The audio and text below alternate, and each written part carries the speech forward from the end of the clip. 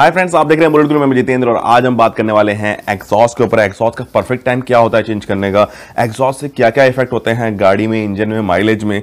तो ये जो लोगों की मेंटलिटी है पॉइंट ऑफ़ व्यू है एग्जॉस्ट को लेके, वो सारी चीज़ें इस वीडियो में कवर करने वाले हैं एंड बहुत लोगों के बहुत सारे क्वेश्चन आते हैं एग्जॉस्ट को लेके। मैंने क्योंकि मेरी वीडियोज़ भी बहुत सारी हैं एग्जॉस्ट साइलेंसर्स के ऊपर मैंने बहुत सारे वीडियोज़ बना रखे हैं तो क्वेश्चन भी ये सबसे ज़्यादा कॉमन क्वेश्चन होता है कि परफेक्ट टाइम क्या है और इससे इफ़ेक्ट पड़ता है नहीं पड़ता है। तो ये दोनों क्वेश्चन जो है, इस वीडियो में ज़रूर आपको क्लियर हो जाएँगे। तो मेक श्योर sure इस वीडियो को आखिर तक ज़रूर देखिएगा। तो चलिए, जानते हैं।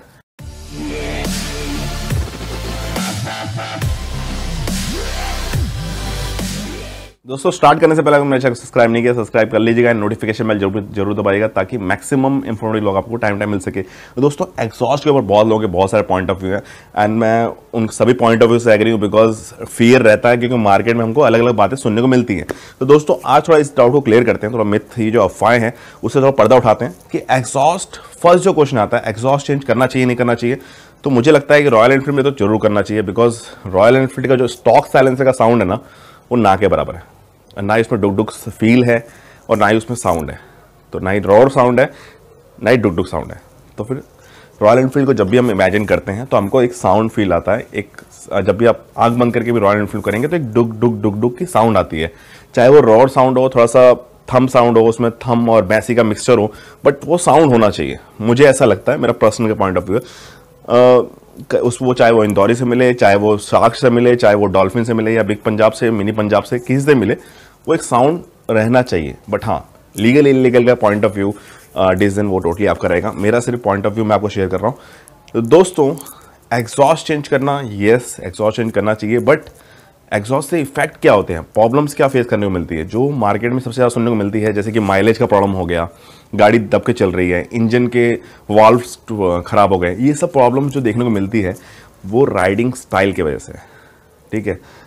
फ्री फ्लो साइलेंसर्स में आपको बैक प्रेशर याद रखिए वर्ड बैक प्रेशर नहीं मिलता है प्रॉपर स्टॉक साइलेंसर में वही बैक प्रेशर प्रॉपर मिलता है, क्योंकि जो गैसेज होती है बर्न गैसेज होती हैं, वो फ्रीली स्टॉक साइलेंसर में नहीं निकल पाती हैं बट फ्री फ्लो में वही गैस आराम से निकल जाती है। तो जो स्टॉक साइलेंसर है, वो अच्छा बैक प्रेशर बनाता है, इसकी वजह से पिकअप भी आपको सही मिलती है। इसीलिए इंदौरी टू पाइप थ्री पाइप जो होते हैं, वो अच्छा पिकअप देते हैं, सालों साल चलते भी हैं।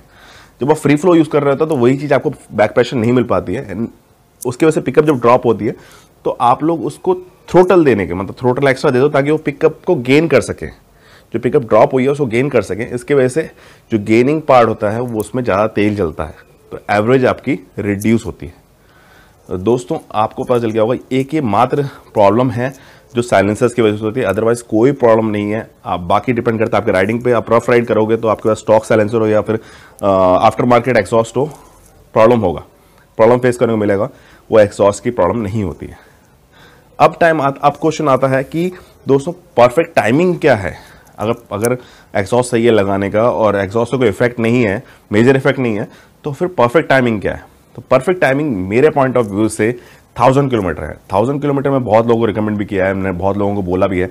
एंड थाउज़ेंड किलोमीटर बोलने का एकमात्र रीज़न ये है कि जब आप गाड़ी लेते हो डिलीवरी लेते हैं तो असेंबल्ड होती है। कई जगह हैंड हैंड असेंबल्ड होती है, कई जगह मशीन असेंबल्ड होती है। एंड प्रॉब्लम आ सकती है क्योंकि मैकेनिकल पार्ट है।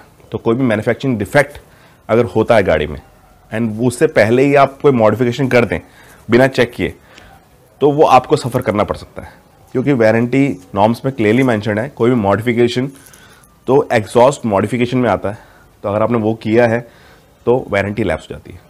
तो इसलिए बोलते हैं कि सुनिश्चित कर लीजिए कंफर्म कर लीजिए कि गाड़ी में कोई मेजर मेजर मतलब याद रखिए मेजर प्रॉब्लम जो है, वो नहीं होना चाहिए।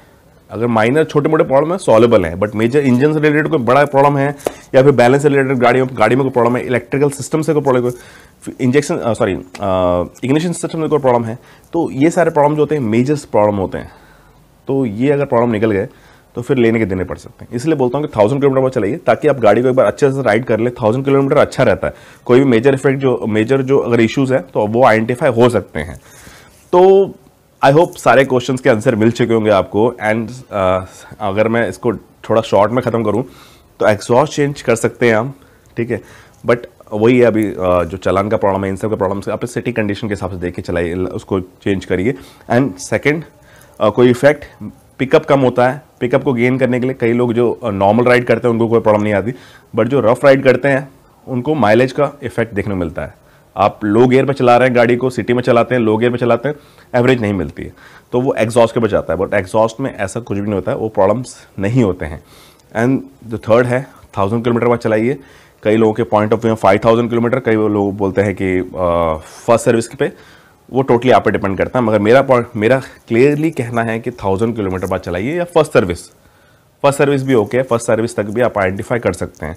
तो दोस्तों, यहाँ वीडियो को एंड करते हैं। आपका पॉइंट ऑफ़ व्यू क्या है इसको लेके एक्सॉस को लेके, मुझे ज़रूर शेयर करिए।